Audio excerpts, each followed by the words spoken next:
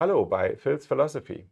Uns geht es heute um die Frage, machen uns Social Media glücklich oder unglücklich? Dazu begrüße ich Frau Bösser, die ihre Bachelor-Thesis zu diesem Thema geschrieben hat. Frau Bösser, schön, dass Sie da sind. Guten Morgen. The illusion of social media can an influencing society like this support our mental health, bring us luck and make us happier? Or is it just the opposite? Das klingt nach einem interessanten und äh, tiefgründigen Thema ist aber vor allen Dingen auf Englisch. Wie kam es, dass Sie in Fachethik auf Englisch schreiben? Also das lag vor allem an meinem Wunsch, äh, meine beiden Fächer zu kombinieren, also dementsprechend Englisch und Ethik und tatsächlich auch an dem Wunsch, meine Kompetenzen im, in Englisch zu verbessern und ähm, dadurch, dass sie das dann erlaubt haben, konnte ich das machen und es war auch sehr interessant. Und ist auch sehr gut geworden, genau. und jetzt zu dem Thema. Wie sind Sie auf das Thema gekommen? Was hat Sie da interessiert? Das ist ja ein interessantes Thema, aber für eine Bachelorarbeit muss man ja dann auch viele Studien lesen. und wie sind Sie da äh, zu der Entscheidung gekommen? Ja, also ähm, Social Media ist ja mittlerweile ein integraler Bestandteil unserer Gesellschaft. Ähm, mittlerweile würde ich sagen, fast jeder hat einen Social Media Account, mindestens einen. Ähm, und auch wenn man Social Media benutzt, ähm, kommt es immer wieder auf, dass uns Social Media beeinflussen kann, dass es unsere Kommunikation miteinander verändert oder ähm, dass es beispielsweise auf mein Selbstbild oder so sich ähm, ja einen Einfluss hat.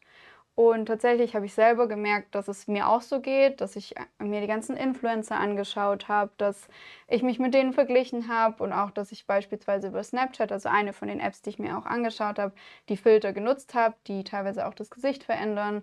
Ähm, und ich dann immer mehr darüber nachgedacht habe, was das eigentlich bedeutet. Und so bin ich irgendwann dann zu dem Entschluss gekommen, dass ich eigentlich mehr darüber wissen möchte und das Thema ja auch ethisch aufbereiten könnte und dann im Endeffekt sie gefragt hat. Das ist ein, genau die richtige Motivation, die eigene Frage zur äh, wissenschaftlichen Arbeit zu machen. Aber dann muss man ja in die Forschung rein. Und da ist meine Frage, gibt es da eigentlich viele Studien zu?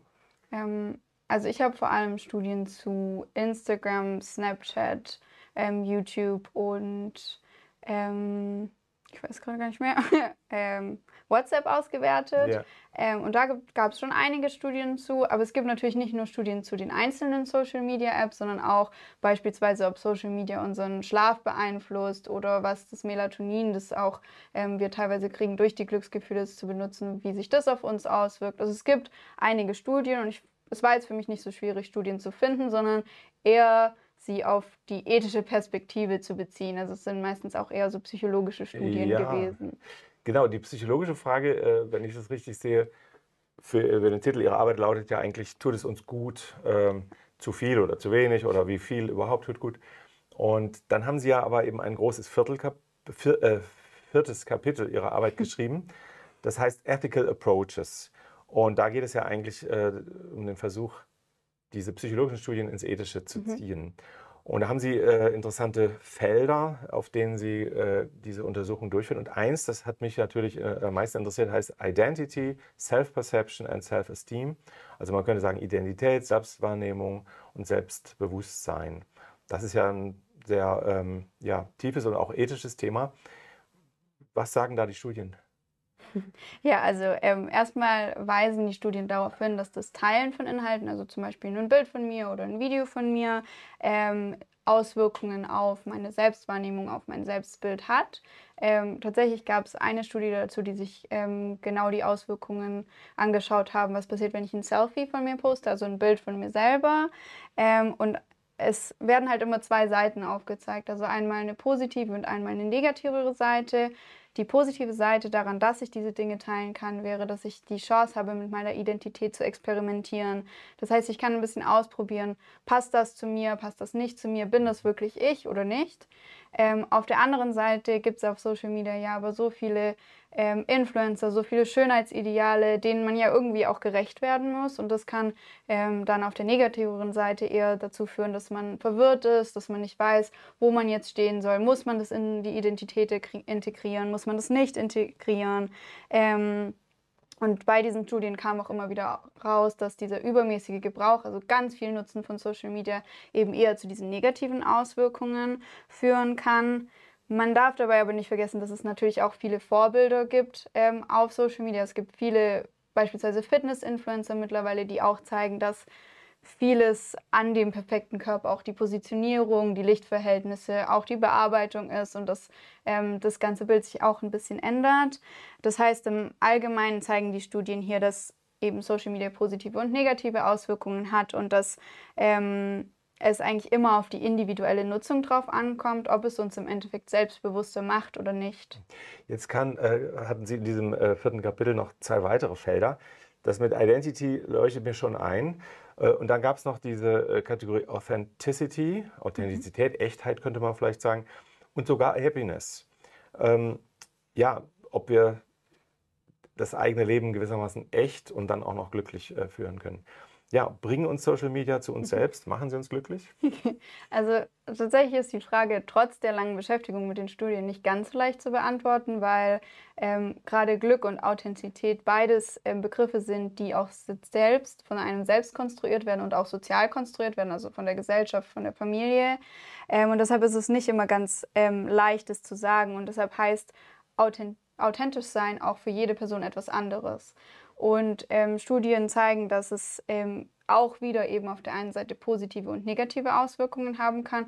Beispielsweise sich äh, unauthentisch zeigen auf Social Media würde dazu führen, dass wir uns ähm, weniger, also dass wir geringeres Wohlbefinden mit uns selber haben. Teilweise haben andere Studien auch gezeigt, dass ähm, es mit unserer Selbstwahrnehmung dann bergab gehen kann. Und ähm, wenn wir uns unauthentisch darstellen über Social Media, stimmt es ja auch nicht so ganz mit unserer Identität ein, überein. Und auch unsere Freunde oder Familie, die das natürlich auch sehen, ähm, da könnte es zu Konflikten kommen. Ähm, und auf der anderen Seite zeigen die Studien eben, dass Menschen, die sich authentisch darstellen, ein höheres Wohlbefinden und teilweise auch ein höheres Selbstbewusstsein haben können, auch in Bezug auf das Kapitel vorher.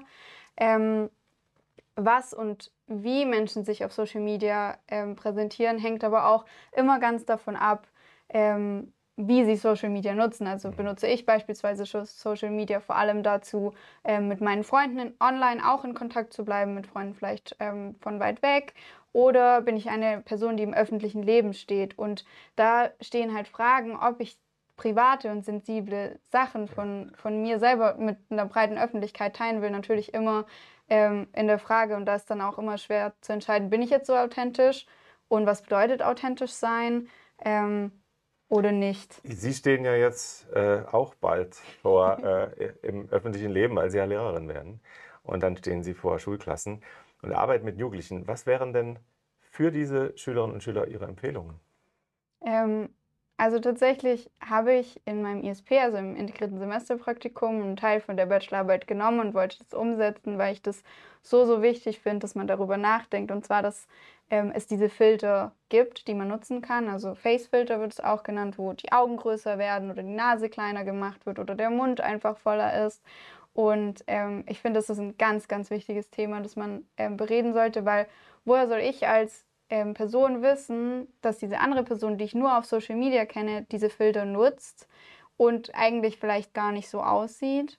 Ähm, und das habe ich auch gemacht und es hat auch sehr gut funktioniert und man hat auch gemerkt, dass die Schüler und Schülerinnen sich da Gedanken drüber gemacht haben und vielleicht auch selber mal ähm, die Erfahrung gemacht haben, sich verglichen zu haben und deshalb ähm, wäre meine Botschaft da immer, dass man sich daran halten soll, dass auf Social Media nicht alles real ist und dass man sich deshalb nicht vergleichen soll. Das klingt nach einer sehr sinnvollen Botschaft. Ja, vielen Dank, dass Sie da waren. Sehr gerne. Machen uns Social Media glücklich oder unglücklich? Wir haben euch eine Bachelorarbeit zu dieser Frage vorgestellt und ihr denkt unbedingt weiter darüber nach. Bis zur nächsten Frage bei Phil's Philosophy.